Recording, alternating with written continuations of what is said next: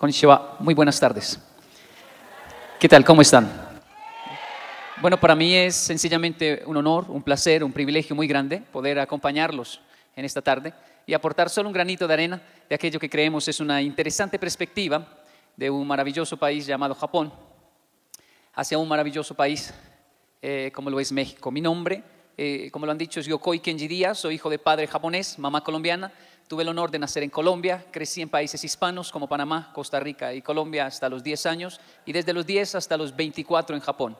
Allí me casé, nació nuestro primer niño, Kenji David, tiene 13 años.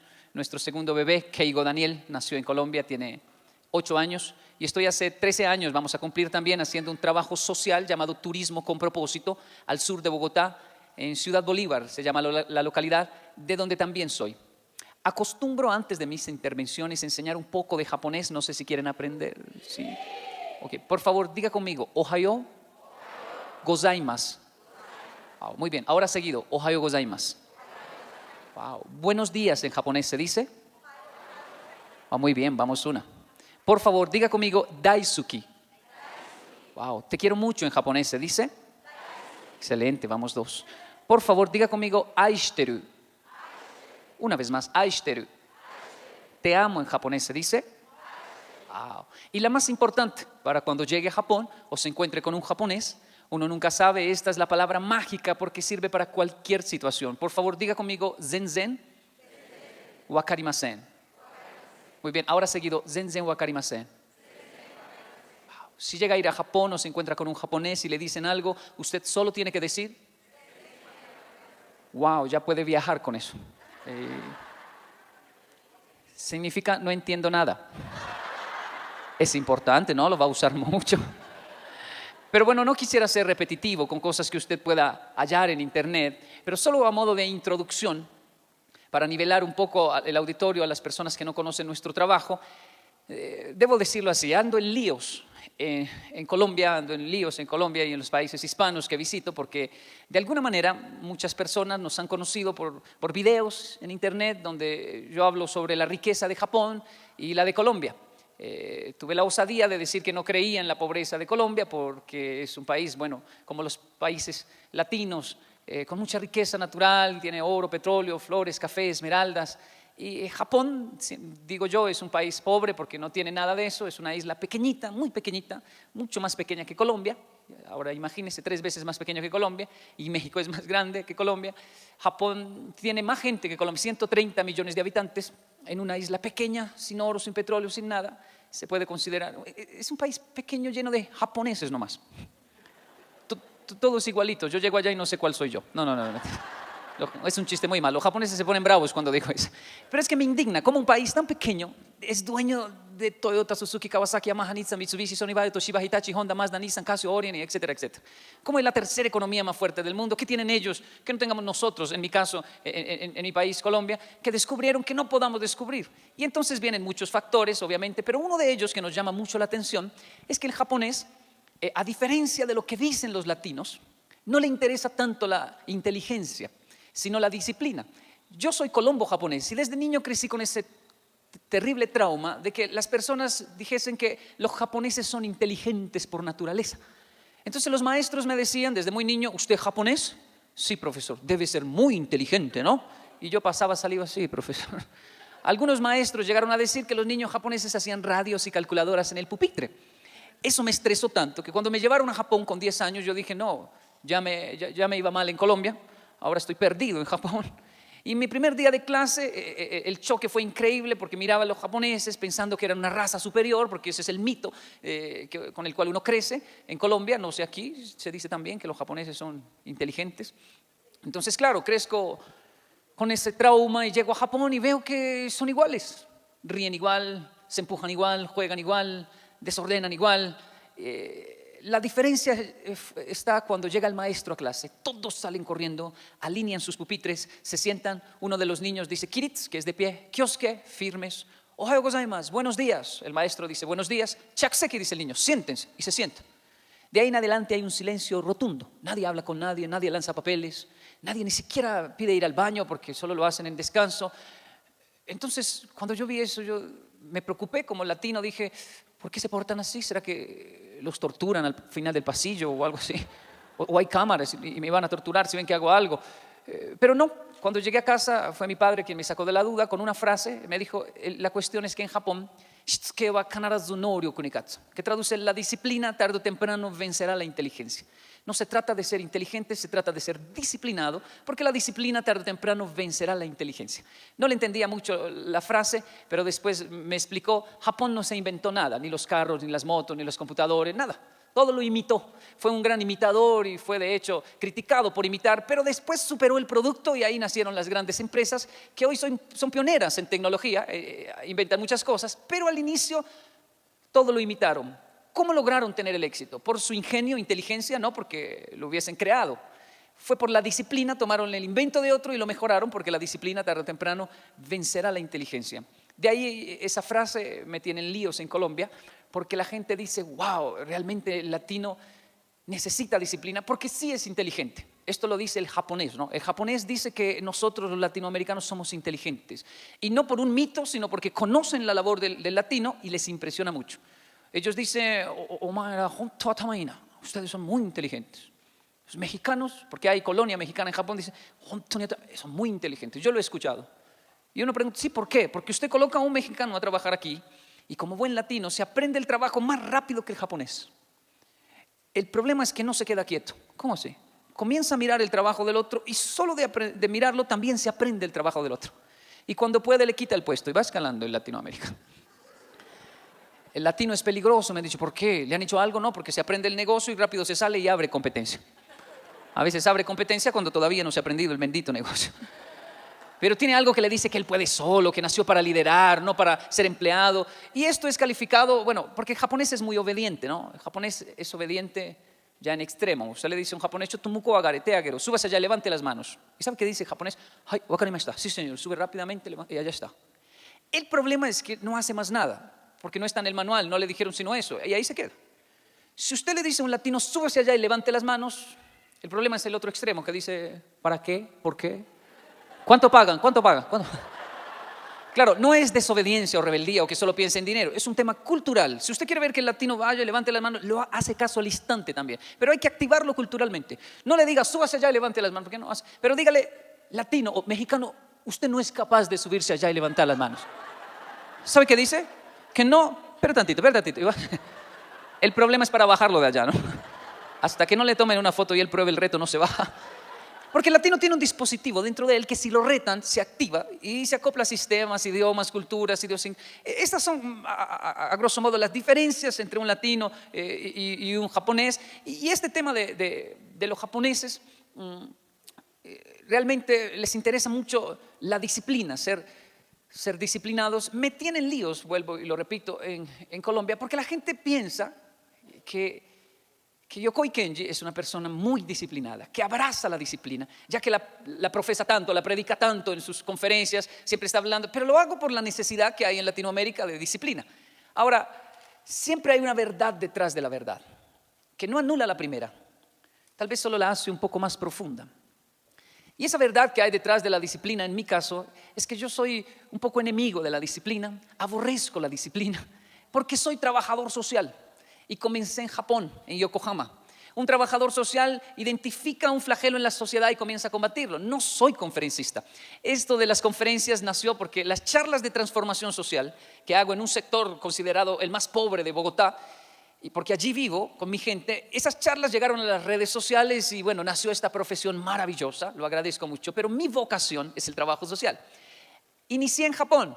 El problema en Japón no es la droga, la violencia, farmacodependencia como en, Colombia no, eh, eh, o en Latinoamérica. El problema en Japón era otro. Combatíamos la depresión, la tristeza colectiva, eh, el estrés laboral, el suicidio. Japón tiene 32 mil suicidios por año es una cifra muy alta. Cinco amigos míos se quitaron la vida solo de mi época escolar, pero llevo siete. Y bueno, al identificar este flagelo tan tenaz, tan fuerte, decidí combatirlo. Y comenzamos a analizar, estudiar un poco los factores, las raíces del suicidio, y hallamos que muchas de ellas están ancladas a la disciplina. O sea, el problema en Japón es, es paradójico, pero en Japón el problema es la disciplina. El japonés ya es extremadamente disciplinado y eso es un problema. Así que mi trabajo en Japón era combatir la disciplina. Todo lo contrario de lo que digo en Latinoamérica, yo lo decía en Japón. En Latinoamérica, en Japón era reunir así un montón de japoneses y decirles, por favor, llegue tarde una vez en la vida. Y los japoneses hacen, no, eso es malo.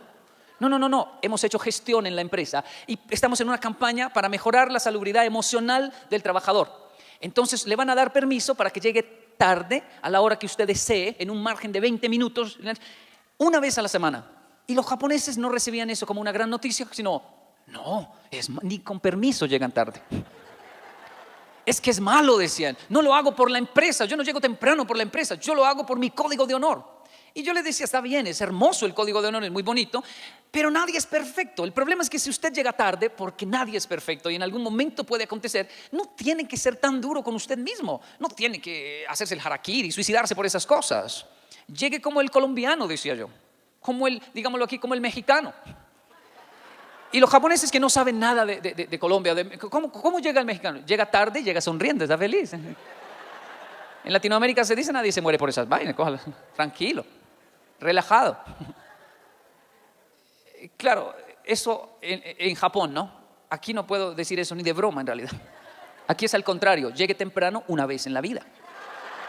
Que estamos que lo suicidamos en la empresa. Eh, escucha.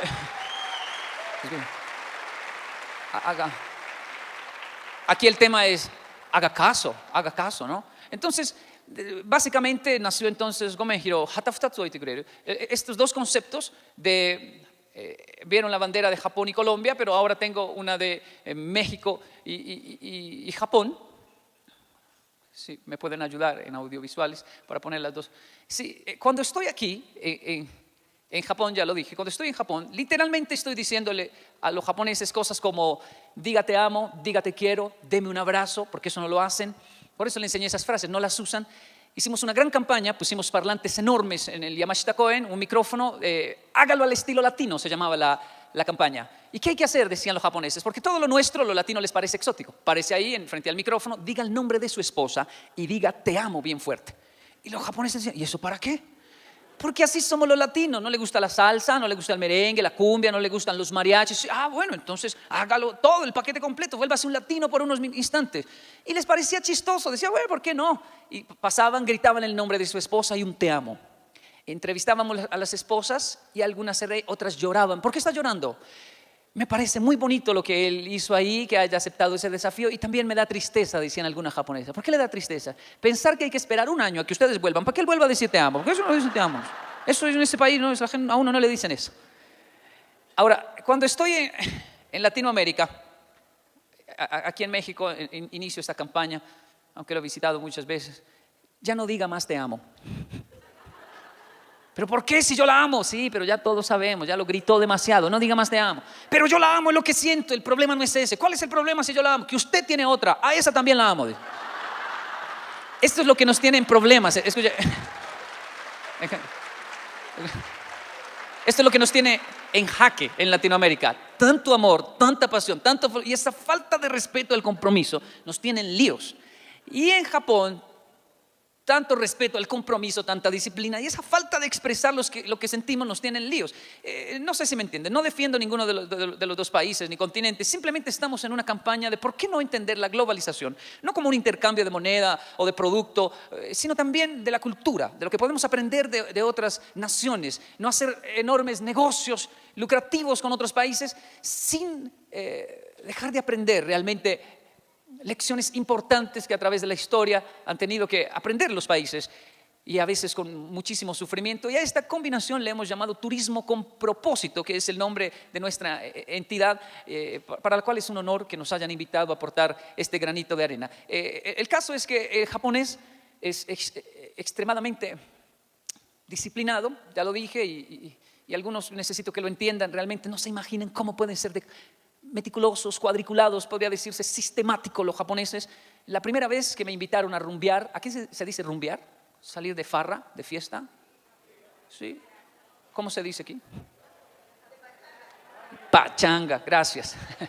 La primera vez que me invitaron de pachanga, los, japoneses también se van de pachanga, pero para el latino irse de pachanga, irse de fiesta, es, equivale a ir a bailar, ¿verdad? Para el japonés no, para el japonés equivale a ir a cantar. Todo es karaoke en Japón.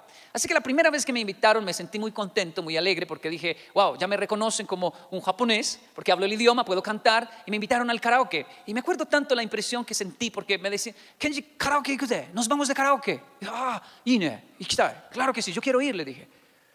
¿Cuándo? En un mes y medio. ¿En un mes y medio?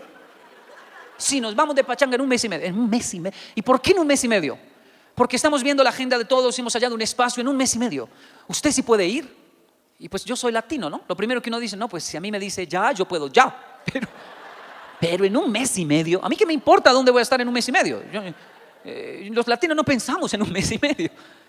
¿Puede ir o no puede ir? Yo voy, pero pues llámeme faltando una semana, tres días, que a mí se me va a olvidar un mes y medio, qué exagerados faltando una semana, faltando tres días, algunos llamaban, Kenji, karaoke no tenemos Oiga, lo llamamos para lo del karaoke. Ah, ¿verdad? Ya, ¿Qué pasó? ¿Ya pasó? No, no, faltan una semana. Gracias por avisarme. No, no estoy llamando para avisar.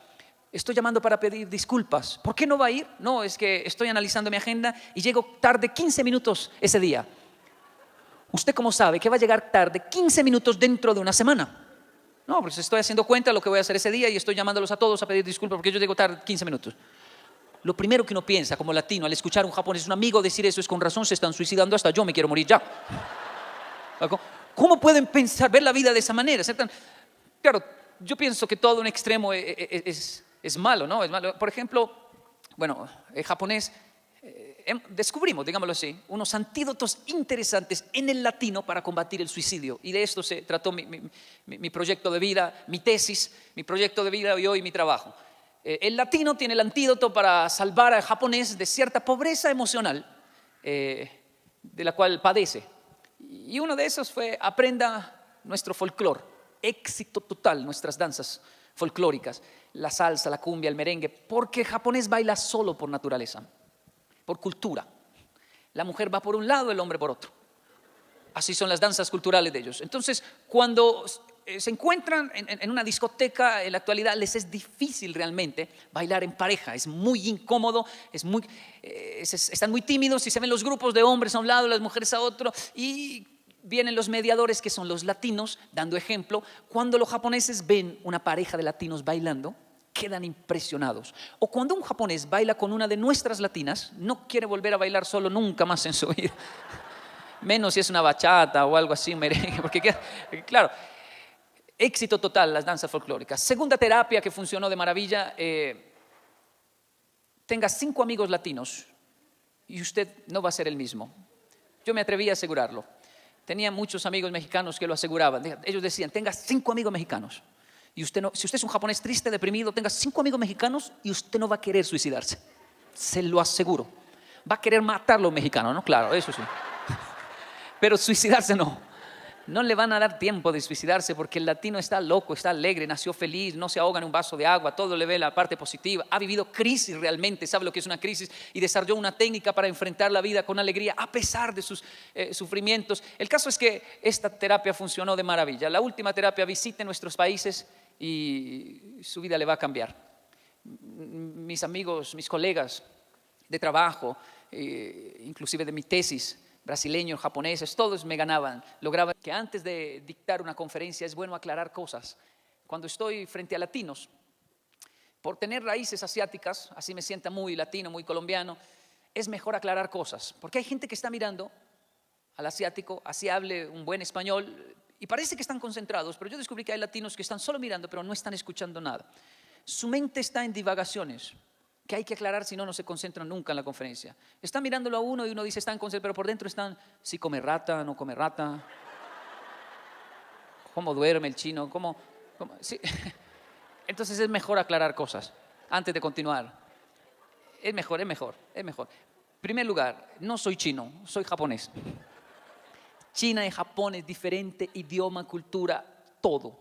Un chino y un japonés se encuentran y no se entienden nada necesitan un traductor. Llega un coreano ahí y son tres perdidos, otro idioma, otra cultura. No se entienden nada. siempre China, Filipinas, Tailandia, Corea, Japón, ni siquiera se parecen como el español al portugués, no, no, se parecen en nada. La cultura, la gastronomía, todo, es diferente. Siempre dije esto desde muy niño en los países hispanos. Me decían, ¿usted es chino? No, chino no, japonés. diferente, idioma, cultura, todo. Y el latino hace, oh, y habla chino.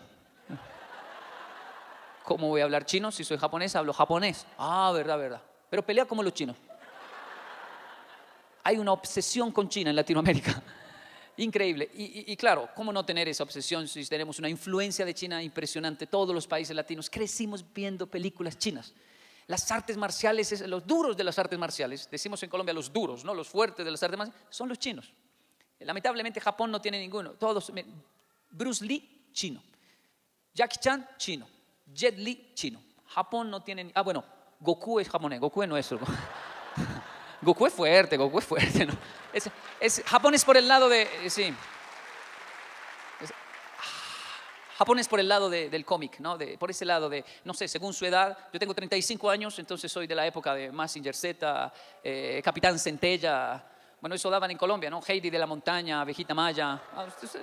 Según su edad, ustedes, ya una generación después, que ah, eh, los hay aquí, claro, eh, supercampeones, caballeros del zodiaco, y ahí entonces ya Dragon Ball y, las series actuales, ¿no? Que son diferentes, lo que, lo que ven mis hijos a lo que yo vi. Pero Japón es por ese lado, Japón es por ese lado. otra curiosidad, digámoslo así, o mito sobre los japoneses es que comen cosas raras. Yo siempre escuché, ¿y usted, chino? Chino no, japonés. Ah, y come rata.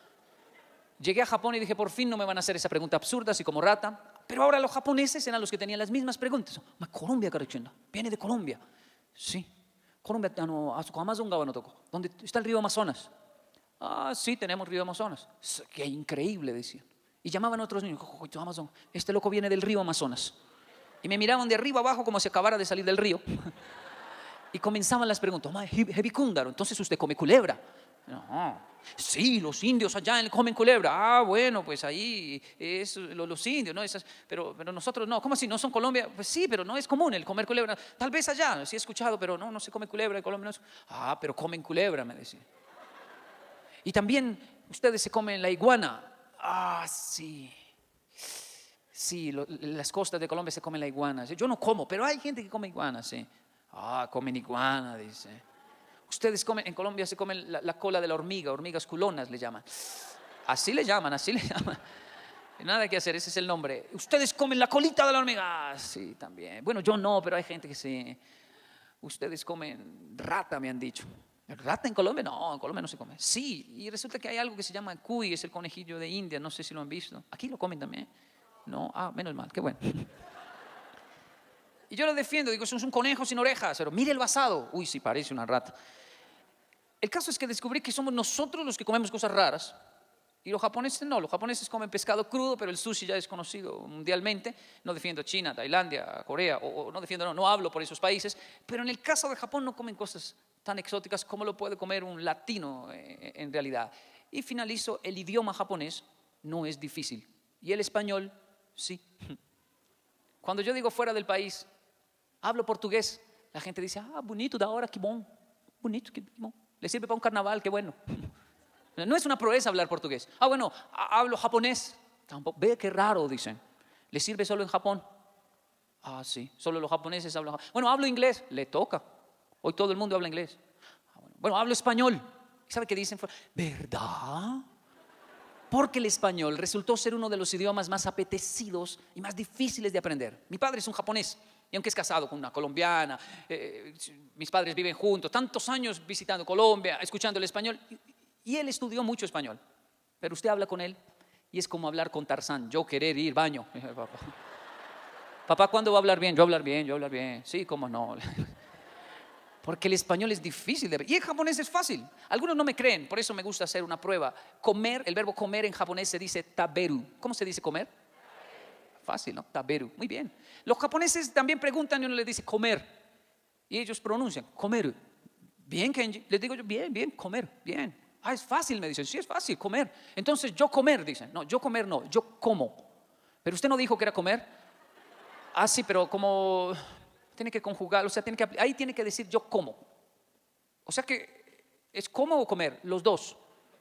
¿Me tengo que aprender los dos? Sí, comer y como. Bueno, no es tan difícil, dicen los japoneses. Comer, yo como. Eso, yo como. Bien, bien, ya aprendió, tranquilo. Ah, bueno, yo como, ella como. No, ella no como, ella come. Y ahí los japoneses dicen, ¿y por qué ella come si yo como? Porque tiene que conjugarlo con ella. ¿Y eso qué es? Ay, no importa, ella come. O sea que son tres, creo que son más. Y ahí se les parte el cráneo a los pobres japoneses. En el español es difícil. Y uno mismo dice, oiga, sí, es difícil. Porque claro, en japonés no hay que conjugar nada. Mire lo fácil que es. Le enseñé que comer se dice taberu. Y ya. Yo taberu, él taberu, ella taberu. Todos comemos con taberu. Fácil, ¿no? Es muy fácil, ¿no? Eh, eh, en síntesis, eh, le enseño japonés. Le enseño japonés a un latino, a un mexicano, y en una semana avanzamos muchísimo. En la misma semana le enseño español a un japonés y el fin de semana está traumatizado con el idioma. De lo difícil, que nuestros hijos sepan que hay que aprender otro idioma, pero que jamás olviden que el español es un idioma importante, realmente apetecido y nada, nada fácil de aprender. Eh, culmino con esto. Es verdad que dije que la disciplina tarde o temprano vencerá la inteligencia. Eso, eso es verdad. Y ha gustado muchísimo. De hecho, me funcionó muchísimo. Yo siempre tuve un problema desde muy niño. A nadie lo contaba, lo conté, lo guardé como un complejo. Noté que la niña que sentaron a mi lado, en Colombia esto, aprendió más rápido que yo. Me acuerdo tanto que le dije, ¿usted ya entendió? Me dijo, sí, es fácil. La miré, la analicé y dije, ah, es nerd, nació así, no tiene la culpa. Después me sentaron con otra niña y también entendió más rápido. Que, ¿Ya entendió? Sí, es fácil, Kenji. Y dije, son una plaga, están por todos lados. Después me sentaron con otro niño, ese no tenía cara de nerd. ¿Ya entendió? Sí, es fácil, Kenji. Y ahí me di cuenta, caramba, el burrito soy yo. Desde muy temprana edad descubrí que era lento para el aprendizaje, que para aprender algo lo podía hacer, pero tenía que repetir una, dos, tres veces la lección, más que un niño normal. A nadie le conté eso, lo guardé como un complejo. Y así llegué a Japón. Claro que a los 14 años de edad, leyendo un libro en español, entró paz a mi alma, porque ahí decía que gran parte de los genios de la historia tuvieron el mismo problema. Cuando yo leí eso dije, caramba, soy genio. Y muy genio, porque me demoro bastante para aprender eso. Mi lentitud no fue un problema para aprender tres tipos de escritura, otros tres idiomas. ¿Por qué? Por un secreto sobre ese tema de la disciplina. Mi primer día de clase, Hirogome, hoy te quiero cara. Fue esto. Eh, ver un maestro entrar, llenar el tablero de hiragana, katakana, kanji, tres tipos de escritura. Y dijo, minasan kakimasho. Bueno, muchachos, copien. Y yo cuando vi eso dije, no, ya me iba mal en Colombia, ahora sí estoy llevado aquí, perdido. Y toda la clase fue mirando ese tablero, casi que se me venían las lágrimas. Dije, no, ¿cuándo jamás voy a aprender eso? Entró el otro maestro y llenó el tablero, muchachos, copien. Y llegué a la casa tan triste, le dije a mi padre, no, estoy perdido, nunca voy a aprender eso. ¿Aprender qué? Es imposible. ¿Imposible qué? Tienen tres tipos de escritura, llenan el tablero de escritura y dicen copien. Y ahí quedo yo como un tonto mirando al aire todo el tiempo. Jamás voy a aprender eso. Y mi padre me dijo, no se preocupe, no se entristezca, tranquilo. Hay un secreto. ¿Cuál? Yukoto kike. ¿Y eso qué es? Simplemente haga caso. ¿Caso a qué? Al maestro. Pero es que no entiendo. No importa, haga caso. Pero es que el maestro llenó el tablero de escritura que no entiende. Dijo, copien. Por eso, haga caso. Pero ¿cómo voy a copiar si no entiendo? Es que él no le dijo entienda, él le dijo copie. Copiar sin entender, copiar sin entender. Y cuando le dijo más de tres veces, ahí sí se lo entendí. Le dije, ah, bueno, entonces me voy, voy a hacer eso. Y me fui como un loco. No se preocupe por nada, solo copia, haga caso. Así no entienda nada. Como un loco, el siguiente, me acuerdo tanto, comencé a escribir todo lo que el maestro dibujó para mí en el, cuadro, yo comencé como un loco a plasmarlo en mi cuaderno. Me acuerdo tanto que hasta el maestro se acercó porque me vio muy concentrado y cuando vio mi cuaderno lleno de escritura japonesa dijo, Yokoi Niño Yokoi ya entiende todo. Yo no entiendo nada, yo estoy espintando aquí, déjame ver que me alcanza todo el mundo. Todas mis clases eran de dibujo en realidad. Mire, no sé cuándo me aprendí hiragana, katakana, yo solo sé que tenían razón. La disciplina tarde o temprano vencerá la inteligencia. No es cuestión de inteligencia porque el latino es inteligente. Es una cuestión de saber hacer caso, de la disciplina de repetir el proceso una y otra vez, de escribir. Simplemente el hecho de sacar un cuaderno y escribir y no querer aprendérmelo porque ya lo escuché, yo me lo aprendo. Simplemente tener la metodología, la disciplina de cargar una agenda, un cuaderno y escribir puede marcar una diferencia increíble porque la disciplina tarde o temprano vencerá la inteligencia. Ahora bien, es verdad que necesitamos disciplina en Latinoamérica, pero ¿cómo ser disciplinado?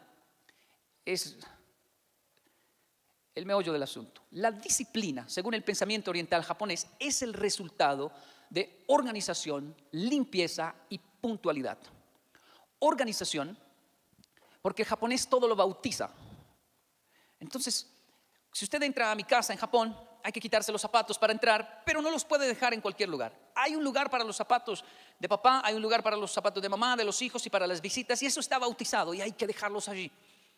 Hay un lugar, bautizan donde se ponen las camisas de color, las, blancas, bautizan todo. Bañarse es una ceremonia, comer, el, arroz está en la mitad, el, pescado a la izquierda, arriba, todo está bautizado. Hay un lugar para las llaves, un japonés nunca maldice las llaves. ¿Por qué hay un lugar para las llaves? Porque maldecirlas, si yo las dejo allí, siempre van a estar allí. Mi padre eh, bautiza los bolsillos yo soy latino, a mí me parece eso extremo, pero él bautiza un bolsillo y con orgullo dice siempre el recibo, el ticket del carro, del parqueadero está aquí porque yo lo bautizo. Usted nunca lo encuentra porque no bautiza su bolsillo. Y siempre me molestó con esas cosas. ¿Por qué los japoneses bautizan todo? No es por algo religioso, es porque no tienen espacios, es un país muy pequeño. Entonces terminan valorando la riqueza intangible de un país que son los espacios. Y entonces siempre están bautizando las cosas. Ahora, lo explico de otra manera. En Japón, por ejemplo, aparecerse con carro último modelo no significa nada. No genera ese chisme natural del ser humano que dice, uy, tiene carro nuevo, tiene plata el vecino, está prosperando. No. Pero si alguien se aparece con un perro, todos dicen, ah, tiene plata, tiene perro. Tener un perro es sinónimo de plata, ¿por qué? de economía, porque que los abuelitos tengan un perro está bien, ellos tienen tiempo y economía porque reciben una pensión y, tienen tiempo. Pero que un joven se aparezca con un perro es demasiado lujo para un joven, porque cuando trabaja, ¿cómo lo cuida? ¿Dónde lo, dónde lo, guarda? Porque es que es un perro, no hay espacios en Japón. Tener un perro es tener, no hay perros en la calle en Japón. Y no es que se los coman, ¿no? No, no, no. Esos son mitos que hay. Por eso cuando los japoneses visitan mi país, Colombia o Latinoamérica, me dicen, Kenji, hay harto dinero en este país. ¿Sí? ¿Por qué? Perros por todo lado. Ah, no, eso es, eso es un problema que tenemos. Y algunos yo los llevo al sur, un lugar que es supuestamente muy pobre, y les digo, mire, esa familia es pobre. Sí, pero tienen cinco perros. Ah, sí. Ese es otro problema. Entre más pobres, más perros adquirimos. No sé por qué. Bautizar lugares. Disciplina es el resultado de bautizar lugares. Que eso es organización. Organización se le suma la limpieza. Limpieza para el japonés no es matar, quitar gérmenes, sino eliminar, sacar. Si no sacamos lo viejo, no llega lo nuevo, definitivamente hay que sacar y esto tiene una conexión profunda con nuestra mentalidad a la hora de asimilar cambios. Entonces, el japonés se ve obligado por su país tan pequeño a eliminar cosas, siempre está, tiene que deshacerse, no solo que no sirvan, cosas que ya no me funcionan a mí o que no uso. Si usted abre su armario y tiene mucha ropa y saca una prenda que allá del fondo que hace seis meses no usa, es porque no la va a usar más, hay que eliminarla. Mi trabajo es ese Combatir la pobreza desde la mentalidad, entrar a un hogar y decirle, permítame, si quiere combatir la pobreza, permítame. Abrimos el armario y dice, esa chaqueta, bote eso. ¿Pero por qué? Me dicen, solo tiene tres posturas. ¿Esa chaqueta solo tiene tres? Sí. La postura del abuelo, del papá y la mía.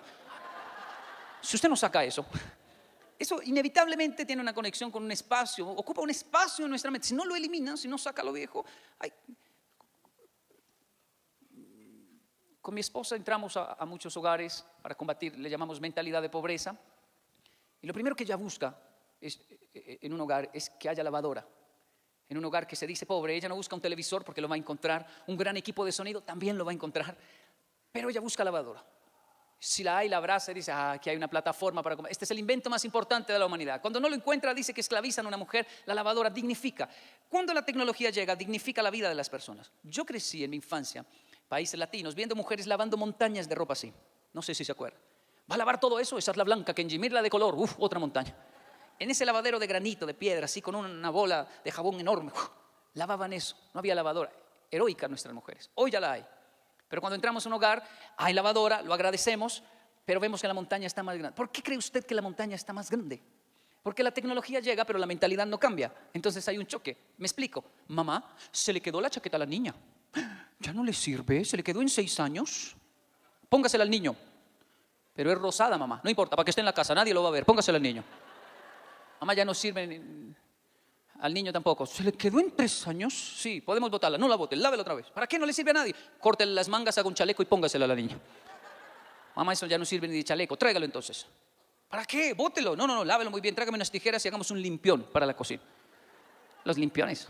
Los limpiones son muy económicos a un dólar, medio dólar le consigo un, limpión. No importa, somos pobres. Los hijos dicen, no más, compramos limpiones nuevos para la cocina. Puede botar ese trapo. Tráigalo entonces. ¿Para qué? No sirve para nada, lávelo. ¿Para qué va a lavar eso? Séquelo muy bien y métalo al cojín. ¿Se acuerda de eso? Mamá, el cojín está duro y huele raro. Saque todo eso de ahí. Por fin lo vamos a botar. No, lave eso. ¿Para qué va a lavar eso? Tráigame unas tijeras, hagamos mechitas de colores y hagamos un trapero de colores. Tráigame un costal y hagamos un tapete de. Pero no lo bote porque somos pobres. Alguien nos vendió la idea que ser pobre era aferrarnos a las cosas. Si algo le impresiona a un japonés cuando lo dejo en una familia latina, en una casa, no sé si eso pasa aquí en México, pero en Colombia pasa. Los japoneses dicen, wow, tienen casa propia y son grandes. Sí, eh, bueno, nuestros países latinos son grandes y conseguir casa propia no es algo imposible o tan difícil como en Japón que es tan caro y hay que pagarlo por 35, 40 años. ¡Wow! Pero Kenji también tiene muchos primos. Sí, en Japón yo tengo dos primos. En Latinoamérica usted sabe, nunca sabemos cuántos primos somos, somos muchos. Y también notan cosas como, wow, tienen perros y, dicen, ¿por qué en esa casa, en toda casa que visitamos hay un cuarto para cosas que no sirven? En Colombia le llaman sanalejo. Aquí le llaman, ¿cómo le llaman? cuarto de diliches. Cuarto de, ¿así? ¿Sí? ¿Diliches? Cuarto. Y cuando los japoneses preguntan por qué existe la familia, nadie sabe decir por qué. Y entonces me dicen, Kenji, ¿usted sí sabe por qué? Ah, sí, el cuarto de diliches sirve porque uno nunca sabe. Por eso, ¿qué es lo que no sabe? No sé, pero uno nunca sabe. Y ahí me toca explicarles, pues medio triciclo viejo, uno nunca sabe, métalo allá. Un cuarto de pintura seca con un palo metido, uno nunca sabe, métalo allá. Se perdió la abuelita, allá está, ¿dónde más va a estar la abuelita? ¿Alguien, nos vendió la idea que estábamos tan mal, tan mal, que tenemos que aferrarnos a, lo, viejo porque uno nunca sabe. Eh, esto no es pobreza, es mentalidad de pobreza la cual hay que combatir, que combatir. Y por eso eliminar es tan importante. Eh, discúlpeme, no me puedo desviar. Disciplina es el resultado de organización. Limpieza, que es eliminar, y termino esto, puntualidad. Puntualidad porque japonés es extremadamente literal. Yo, yo soy colombiano, latino, hablo español, pero bueno, 14 años de Japón, desde los 10 hasta los 24, yo hablo japonés como hablo español, pero hay frases que solo existen en mi mente en español. En japonés se borran. O sea, si estoy con japoneses o si llego a Japón, automáticamente hay frases que no digo porque no las entienden. Para el japonés es demasiado incoherente. El japonés no entiende frases, y yo soy traductor hace muchos años, pero esto no tiene, tiene traducción, pero igual no lo entienden. Son frases latinas como, en un segundo llego. El japonés no entiende, en un segundo llego. Yo puedo llamar a un japonés, un amigo, y decirle, tomate, espéreme, que en un segundo llego. Literalmente el japonés hace así.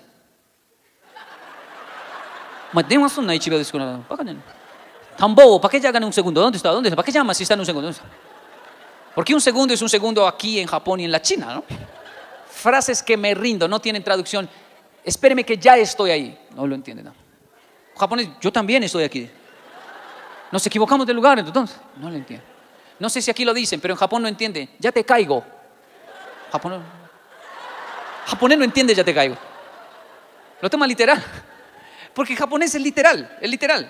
Si usted le dice a la una, es a la una. De hecho, uno de nuestros japoneses, más adelante se los presento, Hirokazu Oka, eh, él llegó a, Colombia y se quedó viviendo, fue de turismo, pero se quedó trabajando con nosotros en la fundación y, la primera novia eh, que tuvo, eh, a las dos semanas, la novia colombiana, claro, entonces a las dos semanas llegó un poco triste, no, ¿qué pasó? Amo, o se acabó, me dijo, ¿ya? ¿En dos semanas? ¿Pero qué pasó? No sé, ¿cómo no sabe? pelearon, algo. No, ella se puso muy brava, dijo que no me quería volver a ver nunca. ¿Y usted qué dijo? Qué bueno y me vine. Usted está loco. Vaya, hable con ella. No, no, no, no, ella no quiere volver a verme nunca más. No, o sea, vaya, llámela. Y prácticamente lo obligué, y fue un poco obligado, llamó, y cuando regresó me dijo, ay, sí, Kenji, no había terminado. No, es que es latina. No lo quiero volver a ver nunca significa nos vemos mañana, pase más tarde, tráigame unas flores, unas uvas. Es latina prepárese porque le va a terminar cada 15 días. Claro, es que yo, eh,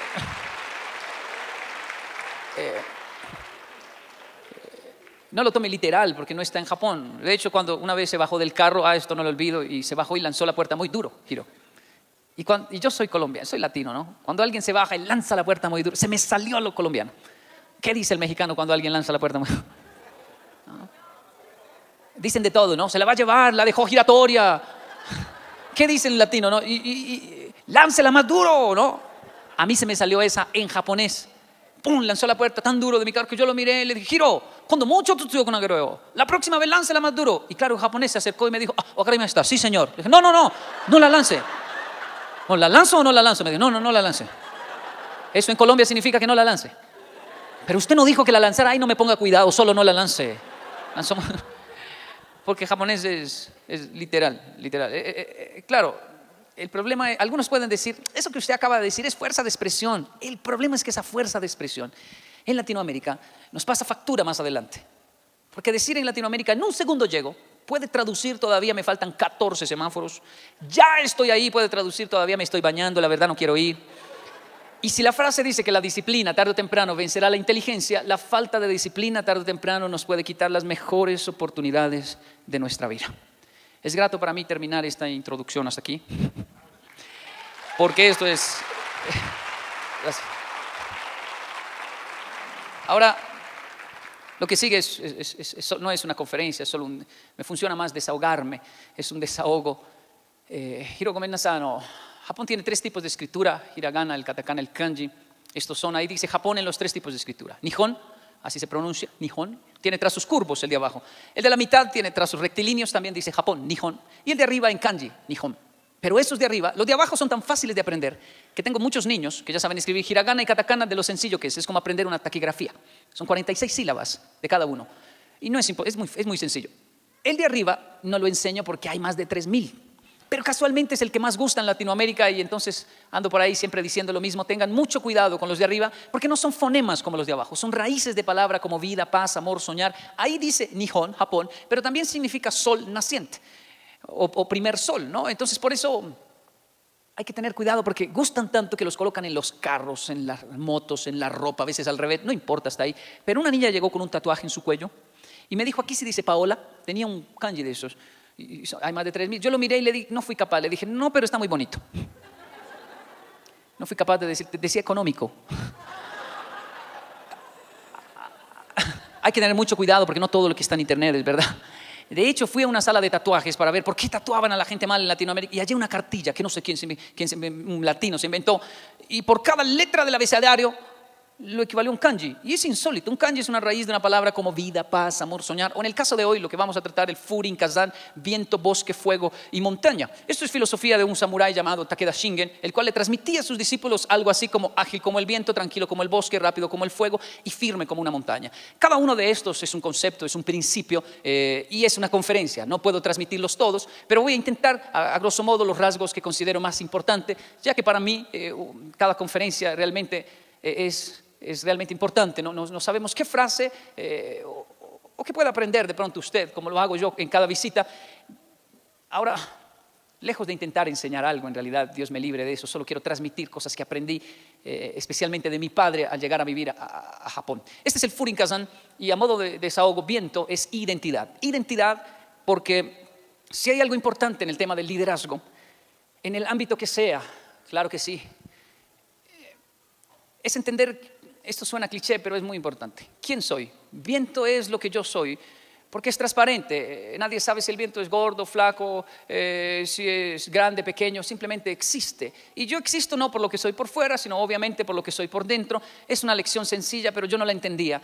Eh, a los 14 años de edad servía de traductor para un conferencista que visitó Japón y cuando me vio tan joven me dijo, ¿usted es mi traductor? Y se decepcionó un poco, la verdad, lo noté en su mirada y me dijo, vamos, yo lo nivelo. Y me llevó aparte y comenzó a hacer una serie de preguntas que no le entendí. ¿Usted quién es?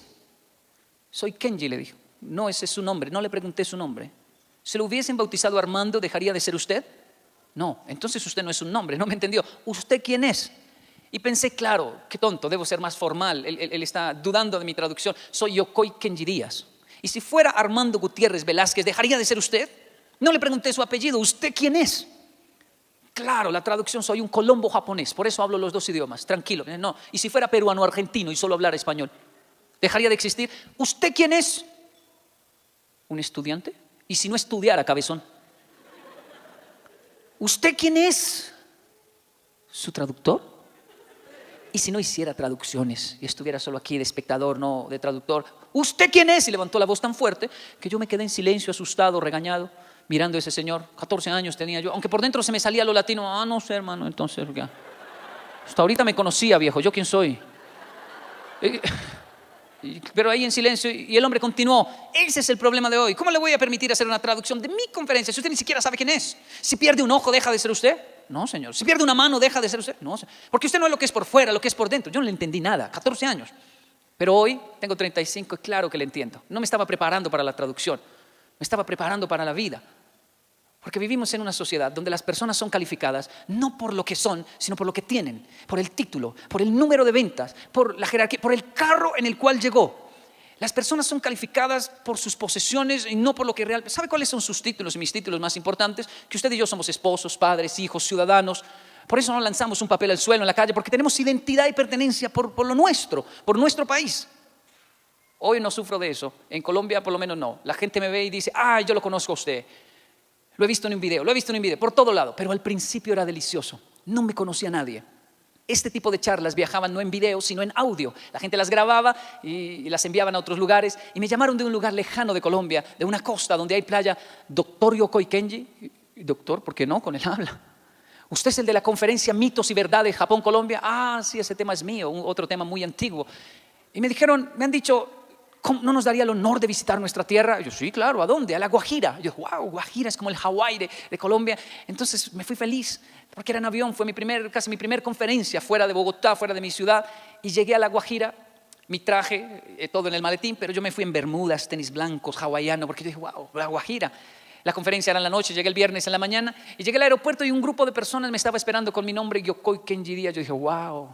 Y les hice así y ni me vieron el japonés, el doctor, tuve que salir y decirles, hola. Y me miraron de arriba abajo, las piernitas flaquitas y lampiñas. ¿Yokoi Kenji? Sí. ¿El conferencista? Sí. Y llegó más gente. ¿Qué hubo? ¿Ya llegó el doctor? Mírelo. Y otra vez las piernitas flaquitas. Y la... ¿Yokoi Kenji? Sí. El de la conferencia Mitos y Verdades, el Colombo japonés. Y ya me entró la duda mía y no sé.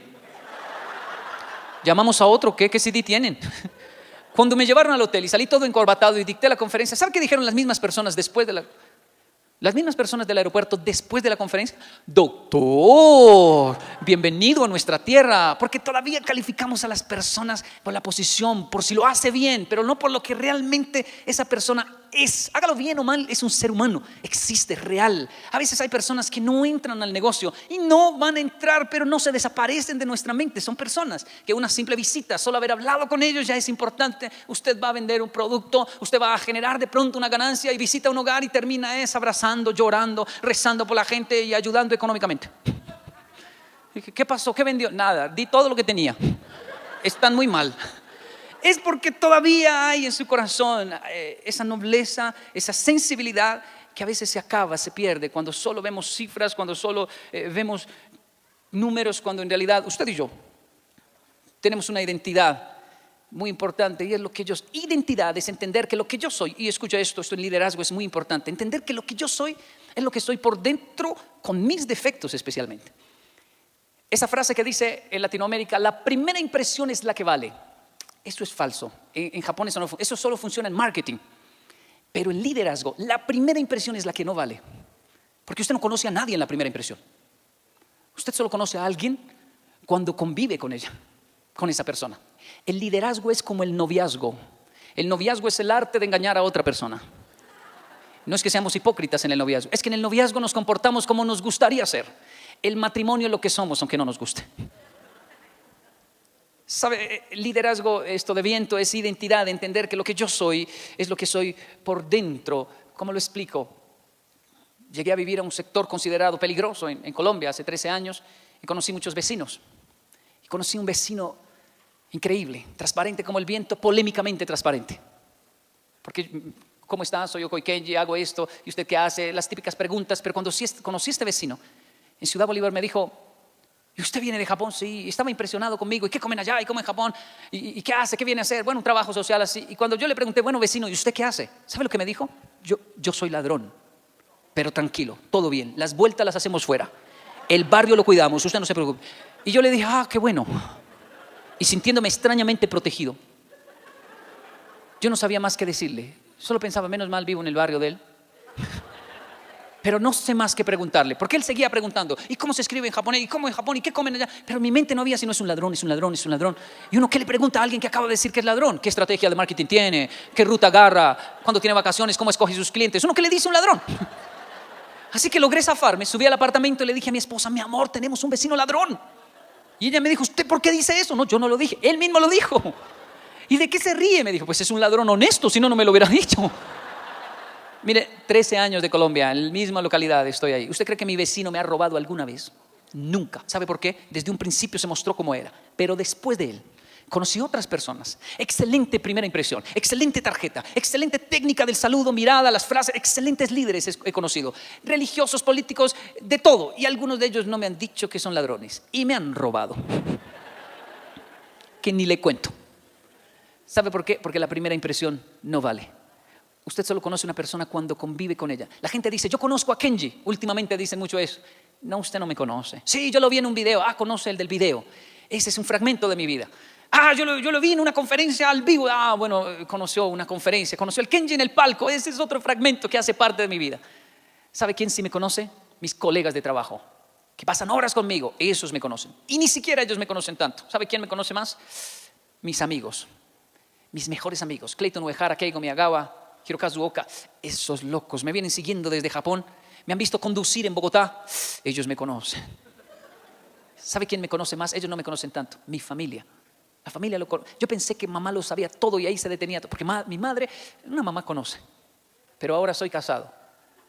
Y si usted es casado me entiende. Hay un ser que me conoce más que mi propia madre. Ella me mira y me desnuda. Ojalá fuera eróticamente. Si usted es casado, me entiende. De eso que uno llega a la casa y ella ya sabe. Uno cierra la puerta, ¿qué hubo? Así decimos en Colombia. Y ella, mire, ¿qué le pasó? Nada. Cuente a ver, ¿qué le pasó? Nada. Y me niego a contarle. Entonces hace un escáner y me dice, ¿lo robaron? Sí. ¿Usted cómo sabe? ¿Usted es bruja o los envió? Ni soy bruja ni los envió. Está escrito que me robaron. ¿Cómo puede una esposa en medio de una gran reunión mirar? Uno está sonriendo, saludando, abrazando y dice, se quiere ir de aquí, está cansado y me libra del lugar. ¿Cómo puede un esposo, si usted es casado, me entiende, mirarlo a uno de una esquina a otro, hacerle uno así con la mirada? Y no llega la mirada, llega una frase, en la casa hablamos. ¿Sabe por qué pasa eso? Porque ella sí nos conoce. Ahora imagínese dónde queda el que me vio en un video. No me conoce. Usted y yo tenemos una cantidad de facetas, por no decir máscaras, que en realidad solo logramos ser quienes somos, transparentes, cuando alguien le permitimos a una persona conocernos con nuestros defectos, no los colocamos en la hoja de vida. Tengo muchísimos líderes, estoy entrenando muchos líderes, pero el requisito número uno, el más difícil es quiero conocerlos. Ah, sí, tengo este título, hablo este idioma, hice trabajo aquí, mire, no, no quiero saber de eso. Maravilloso. Quiero saber quién es usted, sus defectos, quiero que me defraude ya, para que después no me defraude. Y lo quiero defraudar ya. Quiero que me baje de esa nube. Bajémonos de la nube los dos Va a ser duro, pero un buen equipo de trabajo se hace cuando nos conocemos. Viento es entender, con esto culmino, que no podemos idealizar a nadie, ni a nada, ninguna visión. Nada se puede idealizar en esta tierra porque es material.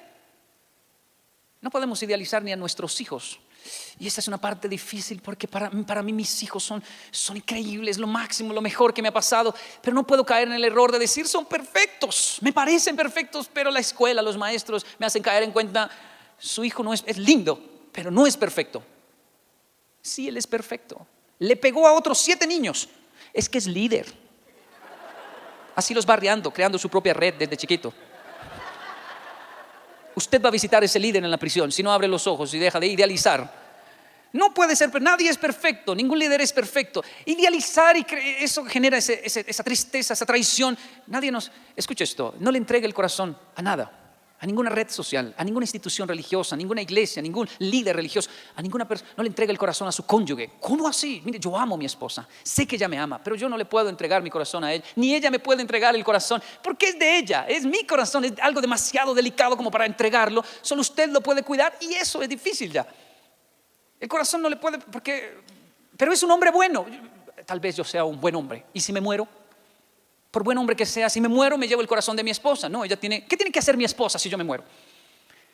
Continuar, ¿no? Casarse. Pues me llora seis meses por lo menos, ¿no? Pero por protocolo que lo haga, está bien. Pero no se puede morir, echar a la pena y decir, era todo en mi vida. No, no puede ser, otra persona no puede ser todo en su vida, porque solo así se puede mantener una relación sana. Viento es entender que no puedo idealizar ni al cónyuge. Mujeres que dicen, mi esposo solo tiene ojos para mí. O su esposo es ciego. O la ciega es otra. Porque usted lo ha dicho, tiene ojos. Y mientras tenga ojos, ve. Una cosa es ser morboso, morboso, y otra es ver. Pero si es un hombre que ve, ve. Y por eso es necesario que la mujer que no idealiza cuide. Y cuidar es, eh, miren, no es fácil caer. Eso es falso también decir, ah, es que los hombres son terribles y por ahí van cayendo con todo. No, nadie cae de la noche a la mañana y fácil. No, soy un hombre casado y le aseguro caer no es fácil. O hay alguien aquí que tenga un testimonio así que diga, yo sí iba para la casa, pensando solo en mi esposa hablando con Dios porque soy religioso también. Ya iba a llegar, ya iba a coronar y cuando iba a llegar se me aparecieron cinco chicas. ¿Cómo se llama la cerveza aquí? Que tengan cinco chicas corona. Y me atacaron. Me amarraron a un poste. ¿Hay alguien con algún testimonio así? Eso tan bueno no pasa. Ya quisiera yo, ya quisiera usted decir, eran cinco, mi amor, me amarraron, nada que hacer. El hombre cae porque quiere, se mete donde no debe, habla más de la cuenta, migra más de la cuenta. Y la mujer igual, su camino es diferente, pero identidad es entender, conocer mis debilidades, conocer la, llamada de la esposa puede cambiar muchas cosas. Hey, ¿dónde está? Aquí en el baño. Ah, bueno, aquí lo espero. Bueno, no tan exagerado, pero una llamada puede cambiar una situación. Es entender que no somos perfectos, que de hecho somos muy débiles. si conocemos nuestras debilidades, allí somos fuertes realmente. Viento es aprender, conocer. Culmino con una canción que me enseñó mi hijo a los siete años. De esos que llegan de la escuela cantando canciones. Yo le había escuchado Los Pollitos, Lola la Vaca, La Vaca Lechera, pero esa que cantó me impactó. Lo hice repetirla una y otra vez hasta que me la aprendí. Había una vez un lobito bueno al que maltrataban todos los corderos. Había también un príncipe malo, una bruja hermosa y un pirata honrado. Todas esas cosas había una vez y el mundo estaba al revés. Él no lo entendía, siete años. Yo dije, esa canción es real, es mi vida, es mi, realidad, es mi sociedad. Yo he visto lobos buenos, siempre los veo. Gente que se muestra como es con su pelaje, buenos, porque al final son lobos pero no se esconden. Maltratados por ovejas, por corderos, moralistas, religiosos, gente que cree que como no hace daño son mejores que los demás. Y los juzgan. Y tampoco hacen nada bueno, y esa es su mayor maldad. También he visto príncipes, como dice esa canción, malos, o políticos, como les quiera llamar. También he visto brujas hermosas, hermosas, pero brujas, sin escrúpulos para acabar con un hogar. Y también he visto ladrones, piratas honrados, como mi vecino, ya se lo conté. El mundo está al revés y lo que parece no es lo que es, a veces no parece la primera impresión no es la que vale. Viento es entender que lo que yo soy es lo que soy por dentro. El tiempo se me agotó. Bosque habla de integridad. Según el japonés, hay que entrar a un bosque para sentir la integridad, la pureza, donde el hombre no ha tocado. Hay una virginidad allí, en el bosque, que alimenta eh, mi nobleza eh, y que contrarresta la tristeza de haber crecido y haber perdido esa inocencia de niño, esa inocencia que yo tenía y que, hoy ya sé, he visto tantas cosas. Ser adulto requiere matar un poco el niño que había dentro de nosotros, eh, que aún está vivo y podemos resucitar cuando nos acercamos especialmente a la naturaleza. El bosque es un principio de integridad. Me, lo explico en una sola historia porque no tenemos tiempo. Bosque habla de un hombre, ¿saben la diferencia entre honestidad e integridad? Sí, sí lo han visto. ¿Qué es ser honesto y qué es ser íntegro? Un hombre pide una pizza. La pizza llega al hotel donde él está. La mujer abre la caja y le dice, mi amor, no hay pizza. ¿Cómo no hay pizza? Si pedimos pizza, ¿qué llegó? Dólares. Cuentan 1.800 dólares. Ella le dice, ah, mi amor, la pizza costó 17, tenemos 1.800. Él le dice, no, no, no, si algo me enseñó papá, es ser honesto. Y va a entregar la pizza. Ella va muy brava, le dice, usted es el único tonto en Estados Unidos que va a hacer lo que pienso que va a hacer. Llegan a la pizzería, entregan la caja, lo aplauden, le, agradecen, lo abrazan y le hacen la pregunta. ¿Usted escuchó el anuncio en la radio? ¿Cuál radio? de la caja perdida, nos equivocamos de caja, se dañó la registradora. No, no escuché eso. ¿Y por qué trajo la caja? Es lo más honesto, una enseñanza de mi padre. Ya le damos su pizza, pero necesitamos que salga en la radio y le cuente a todo el mundo lo que hizo, porque mi hermano trabaja en la radio y quiere entrevistarlo. No tengo tiempo, deme mi pizza que me tengo que ir ya. Bueno, déjeme su nombre, sus datos, su teléfono, yo sí le cuento a todo el mundo lo que usted hizo, porque eso es un gran ejemplo. El hombre tomó al joven de la pizzería, se lo llevó a una esquina y le dijo, ni se le ocurra decir quién soy. ¿Pero por qué? Si lo que usted hizo es loable. Sí me gustaría salir en la radio y decir que yo entregué la caja con los dólares, pero no puedo. ¿Pero por qué no puede? Porque la mujer que está conmigo no es mi esposa. ¿Cómo voy a decir que estaba en un hotel que pedí una pizza? No, loco, invéntese otro cuento, yo me tengo que ir. Tomó la pizza y se fue. Hago una pregunta al auditorio. ¿Era un hombre honesto, sí o no? Sí, entregó la caja. Eso es honestidad. ¿Era un hombre íntegro? Porque honestidad habla de lo que yo hago, integridad habla de lo que yo soy, honestidad habla de lo que yo digo, integridad habla de lo que yo pienso, honestidad habla de mis actos públicos, integridad habla de lo que yo hago aunque nadie me esté viendo. Yo puedo... Escucha, no, no, no, me malinterprete, no piense que estoy transmitiendo algún concepto religioso o moralista. Es el horizonte de la integridad. Nadie es perfecto y no podemos lograr. Pero perseguir la perfección como lo hacía el samurái, su gran enemigo era el dragón de la perfección, dominar ese dragón. Perseguirlo poco a poco hace que nuestros hijos, la siguiente generación, cada vez sea mejor y eso realmente es progreso.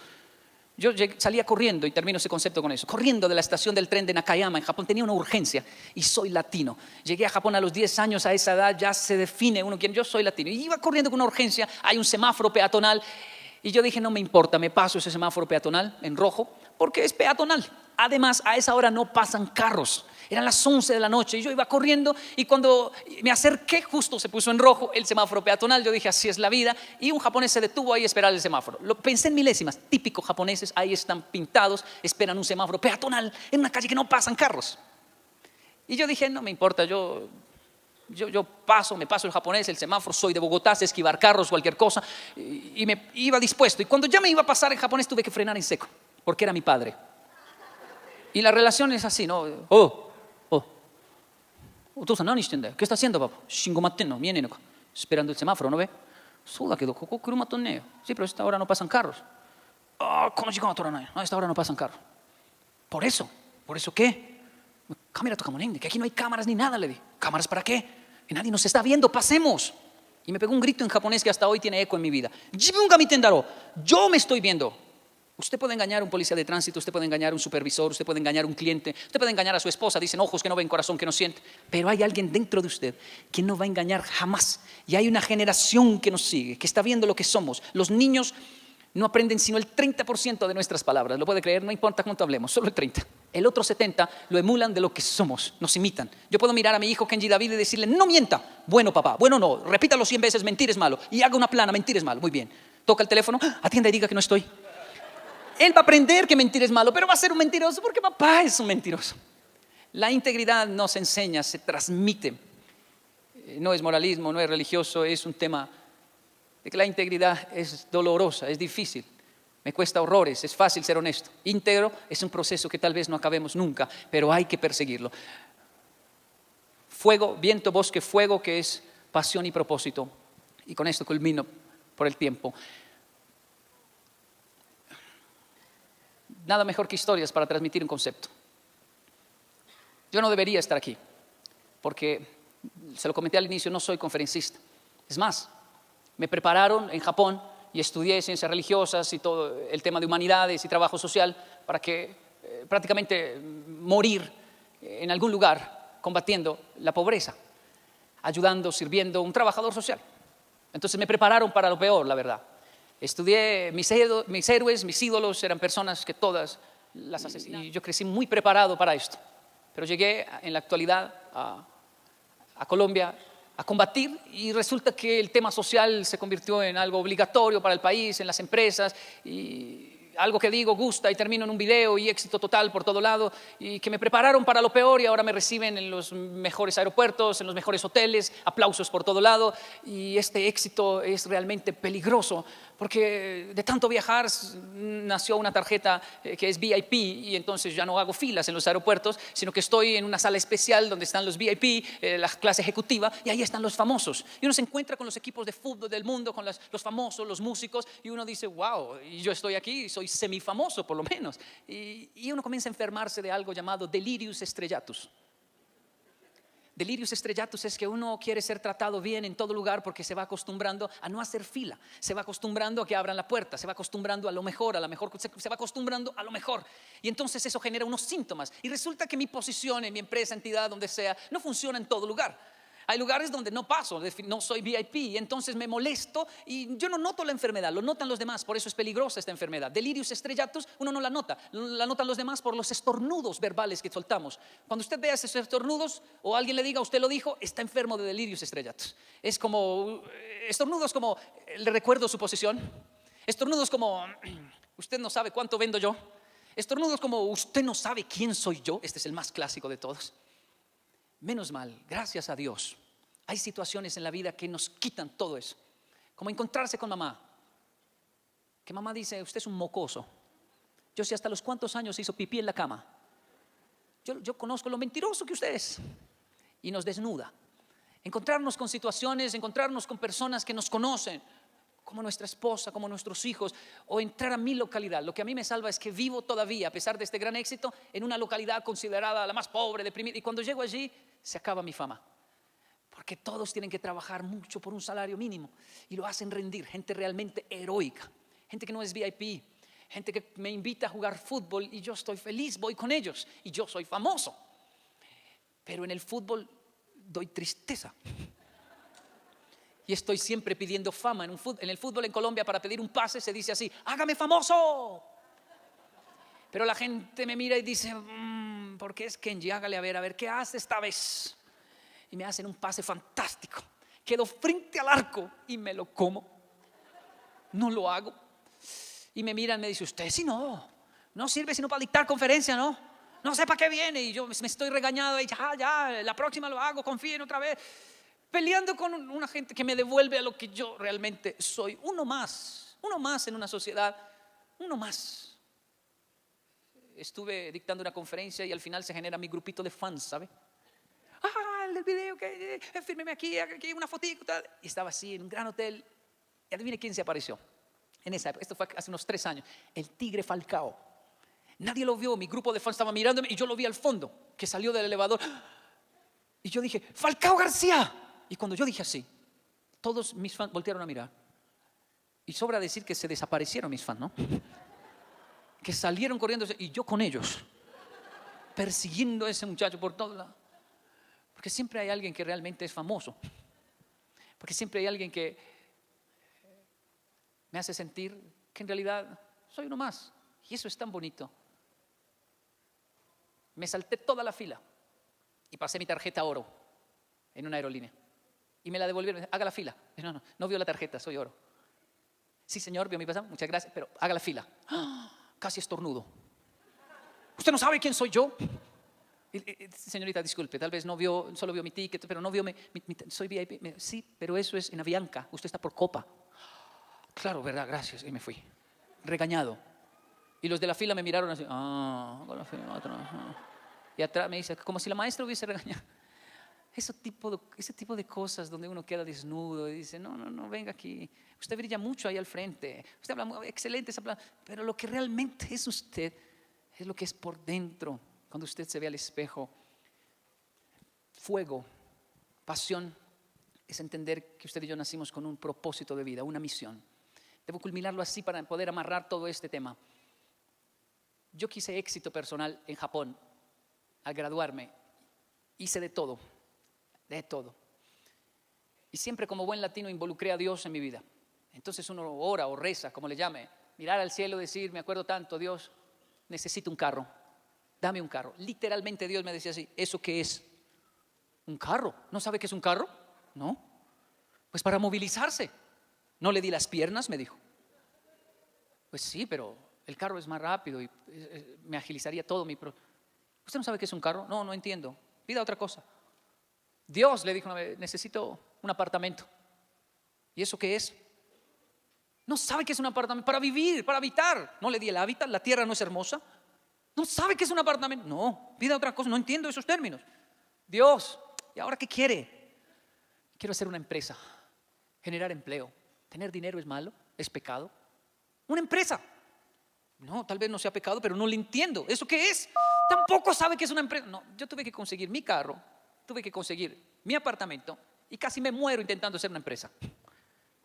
Y lo único que pensaba es, o Dios me odia, o es un tacaño terrible. Porque no Pero un día descubrí la palabra propósito de vida, que es el fuego que llevo adentro, propósito. Y entonces aprendí a hablar con Dios. Después de muchos años, Dios, otra vez usted, ¿qué quiere? Tengo un propósito de vida. Wow, eso lo entiendo. ¿Qué es? Quiero hacer esto una ruta turística, Japón-Colombia, ¿por qué no hacemos esto? Y ayudamos y la pobreza acá, y aprendemos de los japoneses, y ellos aprenden del latino, ¿y por qué no combinamos esto? Y lo hacemos social, y ayudamos a la tercera edad, ¿cómo lo hacen los japoneses? Qué bueno sería hacerlo en mi localidad, que es considerada tan pobre, y hacemos esto, hacemos luego, y se beneficia mucha gente, y ese sería un propósito increíble, y como que Dios iba bajando, ¿sabe? Y haciéndose a mi lado, le entiendo, me gusta eso, esto hay propósito. ¿Y qué se necesita, Kenji me dijo? Varios carros, varios apartamentos, varias empresas, y ahí como... Dios dijo, patrocino, patrocino, patrocino. No fue una manipulación a lo divino en realidad. El que no entendía era yo. Cuando quería mi carro, mi negocio, mi empresa, en mi egoísmo, no lograba tener éxito. Cuando entendí que todo lo que hacía lo hacía para beneficiar a otros, entonces realmente llegó, hoy tengo todo y más de lo que antes con tanto esfuerzo no pude. Porque pasión y propósito de vida es despertar un fuego por ayudar realmente a las personas, por ayudar realmente a la gente. Usted puede escalar muchísimo sin ayudar. Puede llegar a posiciones, según la red social, no sé, oro, diamante, platino, no sé.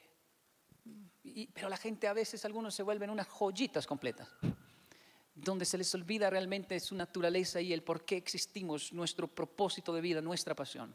Mi propósito de vida, lo culmino, es este. Yo viví 14 años en Japón, y la gente decía, debe estar feliz allá y casi me muero. Entendí por qué hay 32 años. El japonés no habla, el japonés no sonríe mucho, no abraza. Los novios se encuentran y se hacen la venia. Mi padre nunca me abrazó porque mi abuelo nunca abrazó a mi papá porque eso no se usa. ¿Sabe lo que es para un latino vivir en un país donde usted sube al servicio público, público y no hay, nadie le habla? Está lleno y usted escucha el tren. ¿Sabe qué va a hacer usted? si usted es del DF, va a decir, caramba, con razón se están suicidando. Que nadie le diga a uno qué frío, qué calor, para allá, corra para allá. No, nada, nada. Y ahí es donde uno dice, quisiera estar en mi país. Tanto que critiqué el DF, quisiera estar allá saltando en un bus así. Escuchando la música, todo taco del del bus. Que por eso no escucha el del timbre, que le dice, ¿me va a llevar a la casa o qué? vamos para la casa de este. Si este casi nos mata con el otro bus que viene ahí. ¿Sabe lo que? Yo sé que es absurdo, pero ¿sabe lo que es estar en Japón sintiendo nostalgia de esas cosas? Sintiendo nostalgia de un café de su país. Un café no que no vendan café de Colombia en Japón, venden. Nuestro café lo venden allá, pero cuando usted lo ve, si usted lo ve su, café, café de México, uno, wow. I'm, from México, yo soy de ahí, deme uno. Todo orgulloso, en Europa también. ¿Cuánto vale? ¿Seis, dólares? Viva México, deme uno. Y uno lo, lo compra más por patriotismo que por cualquier otra cosa. Pero cuando usted lo prueba, jamás le va a saber igual. Como un café en su casa o en una casa humilde de su vereda, de su barrio, donde sale una señora con una taza enorme y le dice esas palabras que lo hacen más calientico. ¿Quiere café, mijo? Sí, ya se lo traigo. Y le trae ese café lleno de amor, hermoso. Bueno, la taza no es muy bonita, le falta un pedazo. El café tiene pepitas, no lo coló bien y no está escupiendo después las pepitas. Pero cuando usted lo prueba, ¡ah! yo le digo a mi esposa, mi amor, me amañé. Aquí no me quiero ir ya, estoy feliz. Pasa un perro, está feliz. Pasa un gato, pasa hasta un ratón, no lo mate que hay visitas. Todos están felices. ¿Sabe lo que es estar en Japón recordando esas cosas y diciendo quisiera estar allá? ¿Sabe lo que es tener nostalgia hasta de los perros de la calle? Porque no hay perros en Japón, ya le dije, ¿no? No hay perros porque son pedigrí, tienen dueño. Y el perro pedigrí es hiper mega sensible, estornuda y se muere. Se muere por todo. Entonces no los dejan tocar. Y uno es latino, creció tocando todo chandoso que se encuentra uno por ahí. Y cuando uno le va a tocar, dice, no, él no le gustan las personas, no, este solo habla alemán, no, este está emo, no me lo mire. Y no, no puede tocar los perros. Pero entre a mis barrios en Colombia o a, algunos barrios, usted encuentra tres perros en, nuestro, en cada esquina bautizados por la cuadra, Chusco, Mono, Trotsky, Palomo. Después de cinco años sin ver a Palomo, abuelita, ese es Palomo, el perro que le pasó un carro por encima antes de irme para Japón. Sí, ayer lo agarró una moto. Uy, ¿Sabe lo que es sentir nostalgia hasta de... Algunos no me entienden. Lo que es salir un 31 de diciembre en Japón. 31 de diciembre, mi ciudad Yokohama. Se tapó de nieve, tenía yo 14 años. Bufanda, abrigo, guantes, gorro, lindo la nieve, pero no hay un alma que le diga feliz año. Está en Japón, se acuestan temprano, están todos durmiendo. Mi padre japonés se acostó a las nueve y media y yo estoy por ahí con unas ganas de llorar, pero no hay ni con quién llorar. Mi salvación es una tarjeta telefónica para llamar a Latinoamérica 571 para Bogotá. Y se escucha el viento en Japón. Y uno, aló, aló, abuelita, soy yo, Kenji de Japón. Es Kenji de Japón. Feliz año, mijo. Ya es feliz su año, ya todavía no, pero ya casi. Aquí le tengo su tortilla. Ay, abuelita, no me hable de eso, que me muero, me antoja. Lo amamos mucho, mijito. Y ese mijito lo hace llorar a uno como una Magdalena al otro lado de la tierra. Ahí le paso a sus primos que quieren hablar con usted. Yo siempre fui el único primo de la familia Suárez Díaz. El único primo. Mi nombre es Yokoi Kenji Díaz. El único primo que estaba en Japón. Y todos los otros primos hacían fila para hablar con el afortunado Kenji que está en Japón. Y pasaban con esa voz viva. ¿Qué hubo, primo? Y uno al otro lado. ¿Qué hubo? Con la misma pregunta tonta. ¿Está en Japón? Sí, hace rato, años estamos acá. Qué bueno que está por allá. Sí, qué bueno. Yo miraba la nieve, sí, qué bueno. ¿Cuándo me va a llevar? Jamás los voy a traer por acá. Supieron que soy yo el que me quiero ir. Menos mal siempre pasa un primo que lo hace reír a uno. Los latinos tienen frases locas. Primo, ¿qué? Tráigame una Toyota que eso nacen en los árboles allá. No nacen los árboles, ve. Usted está loco, aquí también son caras. ¿Sabe lo que es sentir ganas de meterse por un teléfono y querer salir en Colombia, en su país, en México? Mamá me dijo a los 15, eso fue a los 14, a los 15 me dijo, Kenji va a Colombia. Y aquí se acaba esta historia. Un mes de Colombia a los 15, un 30, para un diciembre, desde que el avión aterrizó. Mire, yo he aterrizado 18 países, 18 países. Este es el único continente, los latinos son los únicos, que cuando un avión aterriza, la gente aplaude. Yo no aplaudo, me parece cursi. Pero si llego con un japonés y ve eso, siempre pregunta, ¿hay que aplaudir? Claro, loco, llego a Colombia, aplaude, aplaude, lo pongo a aplaudir. Y cuando uno llega al aeropuerto lleno de gente, los japoneses dicen, ¿por qué hay tanta gente? Eso no pasa en Japón. Llegó alguien famoso, no, es que para recibir uno se vienen 100. Y eso que antes, eso solo pasa en Colombia, llevaban mariachis en Colombia al aeropuerto, con la misma canción cursi, ya llegó el que estaba ausente. Vergüenza internacional le hacen pasar al persona. Y cuando usted sale esa abrazadera y abrace y abrace y abrace y llega usted al barrio y siempre hay un vecino que entrelaza sus dedos así, ¿no? Cultura latina. Los pone en el cuello de uno, su frente pegada a la mía, todo borracho. Chino, yo lo amo. ¿Para qué se va por allá si esta es tu tierra? Tómese un tequila. Ay, yo también lo amo, vecino, suélteme, por favor. ¿Sabe lo que es salir de un país que no abrazan y entrar a uno donde no lo sueltan?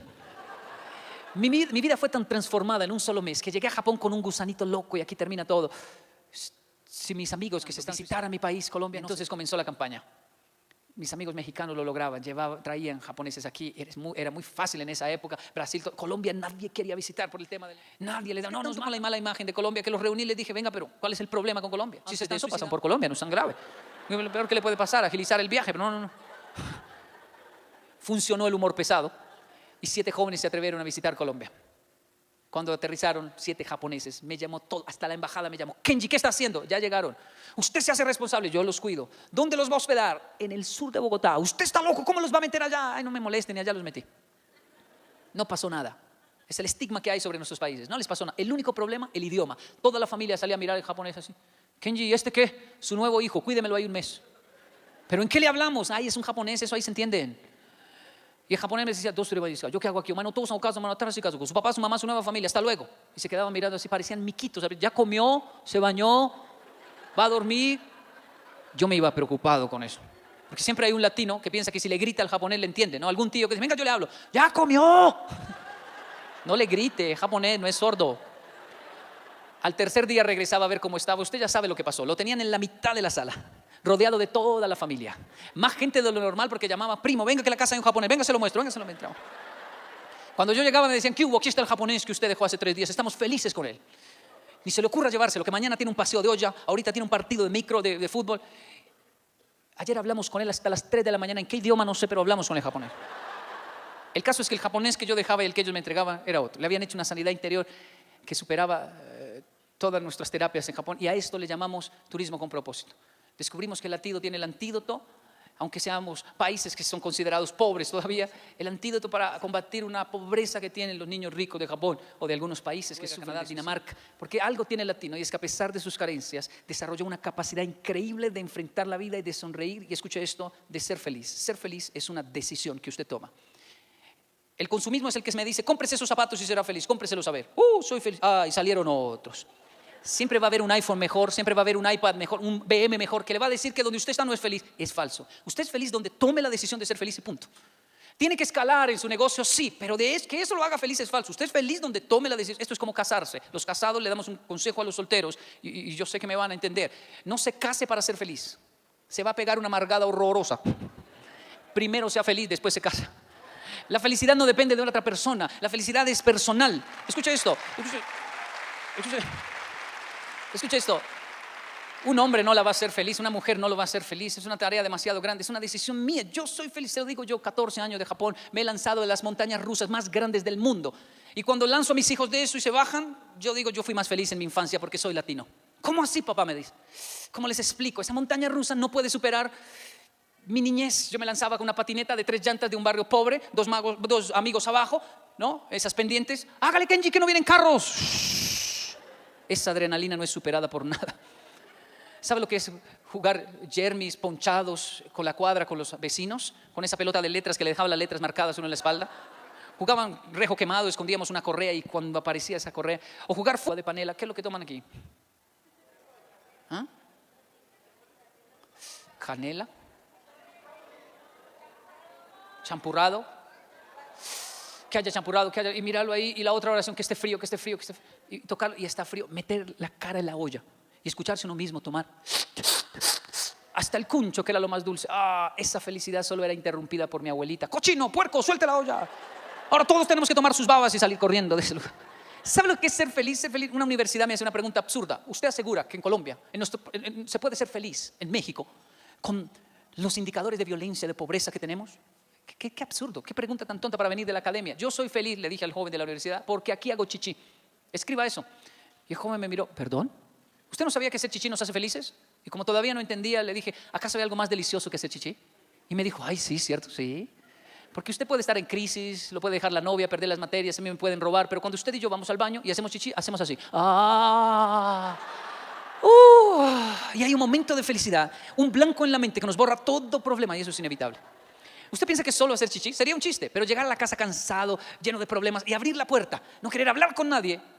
Pero hay unos niños que dicen, llegó papá, llegó mamá, su niña con trencitas y usted tiene que caer de rodillas, abrazarlos, yo también, olvidar todos los problemas y ahí se genera un vacío en la mente que nos acuerda que en realidad usted y yo somos muy, muy felices porque felicidad son cosas pequeñas pero no mínimas que nadie nos puede quitar.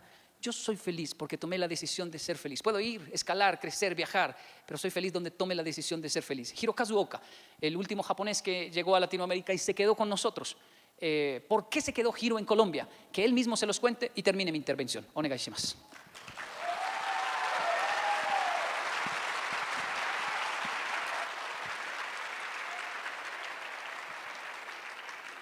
つ押して違う触っちゃったの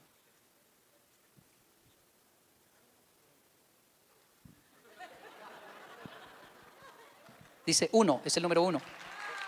Dos, dos.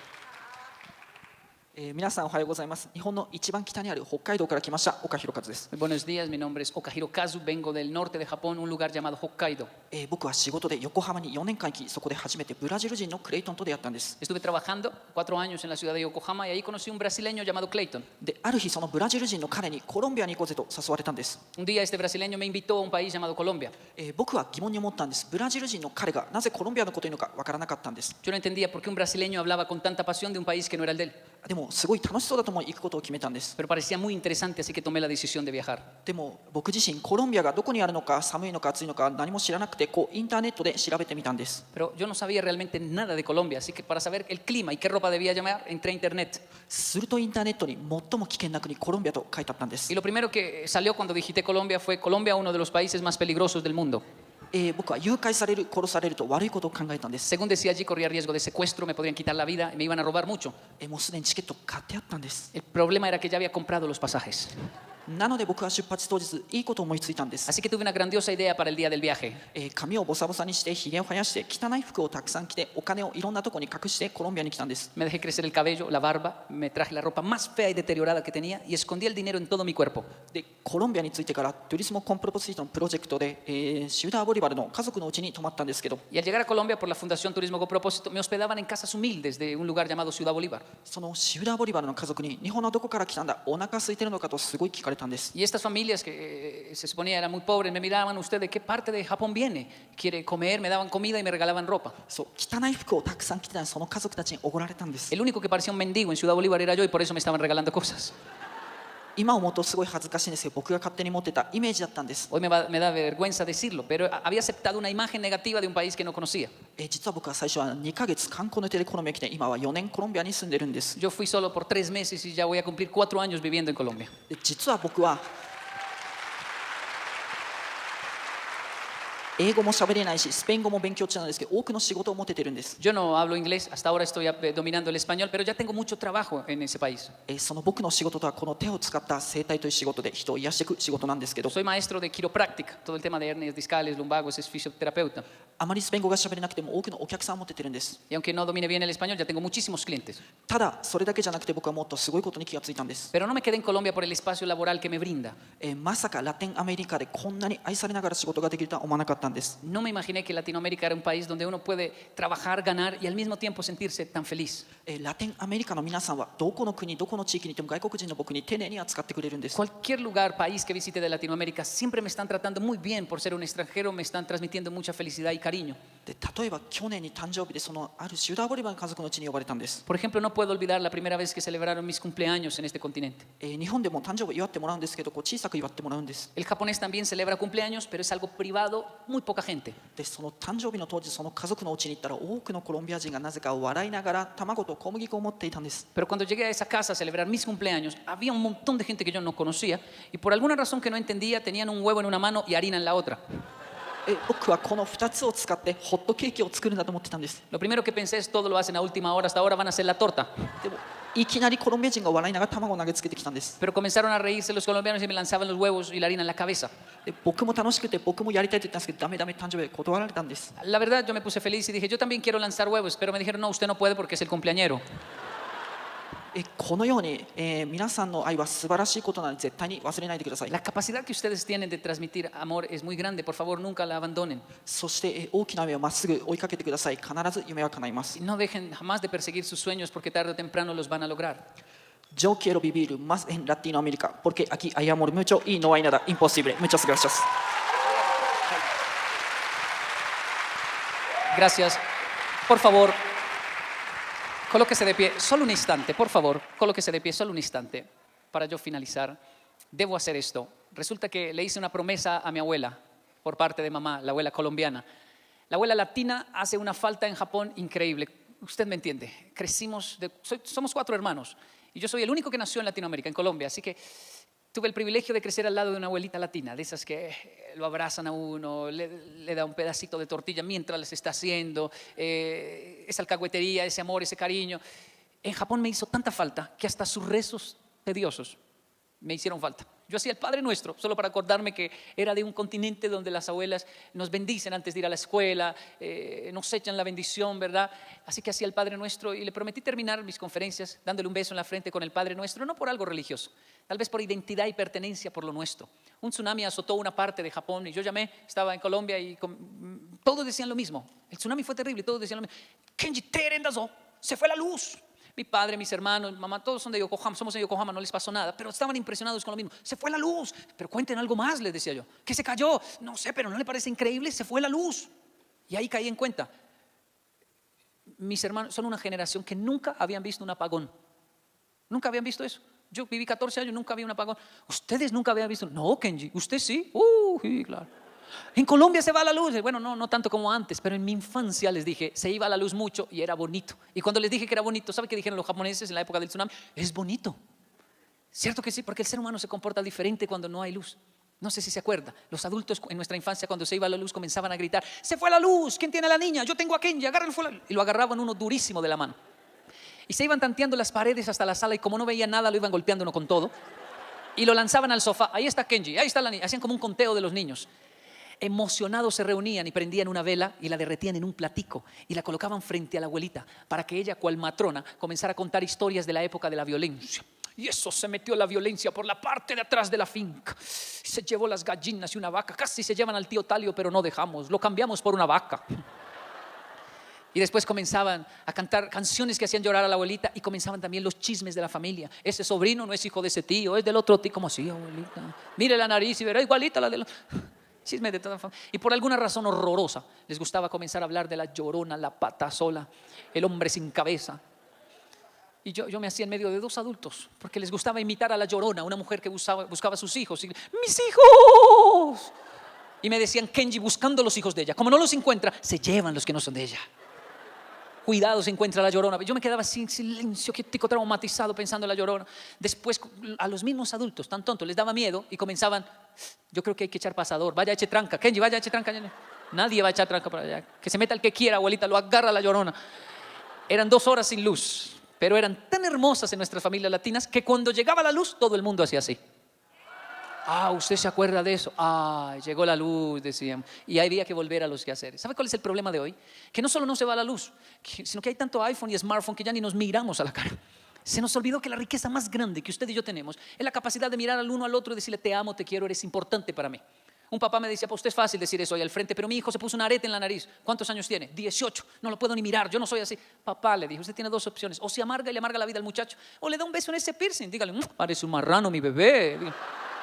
Para usted es fácil decir eso, pero mi hija se está peinando hacia un lado, me decía una mamá. Su cabeza es más grande que el cuerpo, es desproporcionada. Esa es la moda de las adolescentes. Usted tiene dos opciones, o se amarga o la ayuda a peinar. Venga, yo lo que se peinado, todo para un lado. Le pongo un huevo de codorniz, parece un lindo nido de pájaros. ¿Por qué me atrevo a decirle esto? Porque le aseguro que las modas pasan, pero lo que nunca va a pasar es un hombre y una mujer que saben mirar a los ojos y decir, te amo, te quiero, eres importante para mí. Que no le pase lo de aquel hombre que abre una gaveta, saca una pijama nuevecita y dice, esperando un día especial para entregarse. Él se arrepiente. Toda la fecha de cumpleaños de su esposa, él mira esa pijama que debió entregar. Ella murió de repente y él se arrepiente de todo lo que no hizo. No espere una fecha especial, no hay un día especial. Lo que puede hacer, hágalo hoy, porque la riqueza más grande que tiene un país no es su oro, petróleo, flores, cafés, es la gente, son las personas. Y eso comienza por el prójimo y prójimo es aquel que está cerca a mí. No es fácil mirar a una persona y decirle te amo, te quiero, pero eso no es solo de parejas mirar a un funcionario, un colega de trabajo y decirle, oiga, lo he criticado mucho porque quiero excelencia en usted, pero también tengo que decirle, lo quiero muchísimo. Así el otro diga, ¿me va a echar? Oiga, viejo, lo amo, siento amor por... Así el otro, uy, uy. Todo se va por ese lado, ¿verdad? Pero no poder mirar, declaremos el jueves del abrazo en la institución. Bueno, miércoles de sonrisa, obligación sonreír todo el miércoles. ¿De qué se ríe si llegó tarde? miércoles, jefe. Ah, ah, dame no sale caro, no hay que contratar a nadie, puede cambiar todo un ambiente laboral. Independiente de su credo, si me puede acompañar, se lo agradezco. Padre nuestro que estás en los cielos, santificado sea tu nombre. Venga a nosotros tu reino y hágase tu voluntad en la tierra como en el cielo. Padre nuestro, gracias por el pan de día a día. Nunca ha faltado que comer en la mesa a pesar de las crisis en Latinoamérica. Nuestras mujeres han hecho milagros y nos han alimentado muy bien, a veces con pocos recursos. Padre nuestro que estás en los cielos, gracias por enseñarnos a perdonar a todos los que nos ofendieron, nos ofenden todos los días, los perdonamos a todos. No porque eso sea fácil o porque ellos lo merezcan. Los perdonamos a todos porque el perdón es para la víctima, no para el agresor, porque el perdón es para mí. Y libra a mis hijos de la venganza, de la violencia, porque el perdón sana una nación. Padre nuestro que estás en los cielos, no nos dejes caer en la tentación de buscar el éxito y pasar por encima de las personas para lograrlo. No nos dejes caer en la tentación de llegar al éxito y perder el alma, nuestros principios en el proceso. No nos dejes caer en la tentación de por unos minutos de deleite perder años de hogar, de esposa, de familia. Y líbranos de la maldad, porque sabes que hay maldad en esta tierra. Padre nuestro que estás en los cielos, yo te doy gracias por el honor que me diste de nacer en un país llamado Colombia, en un continente como Latinoamérica, donde un tinto, un café, un abrazo no se le niega a nadie. Amén y amén. ¿Qué le parece si para terminar? Gracias. Muchas gracias. Pero ¿qué le parece si para ya terminar, independiente si conoce o no a la persona que tiene a su lado, ¿qué tal si la mira y mientras escucha este tema musical le dice, oiga, qué bueno que nacimos en México, papá, mujer, y le da un abrazo bien fuerte que no se le niega a nadie, por favor?